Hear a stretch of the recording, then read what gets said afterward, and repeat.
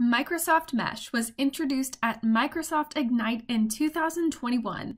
It's a mixed reality platform that enables presence and shared experiences from anywhere on any device through mixed reality applications. This crazy advanced technology allows you to project yourself as your most lifelike, photorealistic self in mixed reality, to interact as if you're there in person, or you can simply customize your virtual appearance to represent yourself as you choose. It helps colleagues who are working time zones apart come together digitally. Their common understanding helps them review data faster and arrive at more informed decisions. It also allows you to train together anywhere. Coworkers can duplicate the serendipity of an in person learning or training without the time and cost of travel, thanks to holoportation, holographic sharing, and visualization.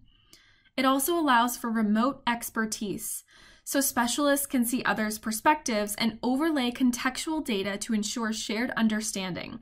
It's a better way to solve problems and make decisions together. It also allows you to design together in 3D Team members' ideas and creativity flourish because they're able to participate in design reviews using several devices. Whether physically present or holoported, colleagues can collaborate on content in real time. And that's it Microsoft Mesh in about 60 seconds.